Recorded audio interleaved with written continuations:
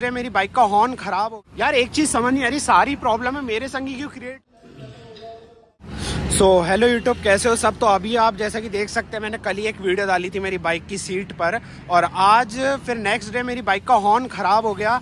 मेरे को समझ नहीं आ रहा है हॉर्न खराब कैसे हो गया प्रॉपरली बज नहीं रहा। मैं एक बार आप लोगों को इसको बजा कर दिखाता हूँ और मैं अभी जा रहा हूँ शोरूम दिखवाने की। मेरी बाइक में क्या दिक्कत हुई है? तो चलो, पहले आपको एक बार हॉर्न बजा कर दिखाता हूँ। यार, एक चीज़ समझ नहीं आ रही, सारी प्रॉब्लम है, मेरे संग क्यों क्रिएट हो रही है इस बाइक को लेकर देखो, आपको बजा कर दिखाता हूँ। ये देखो, ये बजना भी बंद हो गया अब तो। मेरी बाइक का हॉर्न बजना बंद हो गया।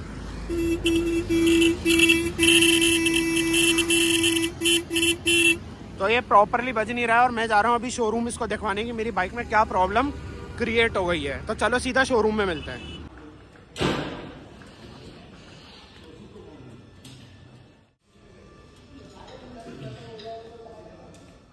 सो so, मैं अभी घर पे आ चुका हूँ और जैसा मैंने आप लोगों को बताया था और इससे पहले थोड़े से क्लिप डाले थे कि उसमें हंटर में जो हॉर्न है वो बज नहीं रहा है।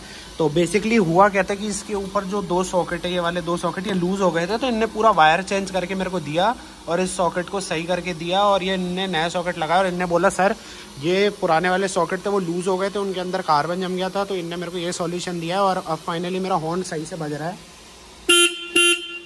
और उल्टा बहुत तेज़ बज रहा है तो ये चीज़ मेरे को सही लगी। थैंक यू रॉयल एनफील्ड और इसमें एक एरर आ रहा था जो यहाँ पे इंजन लाइट शो होती है, उनने वो एरर भी मेरे को इरेज करके दिया।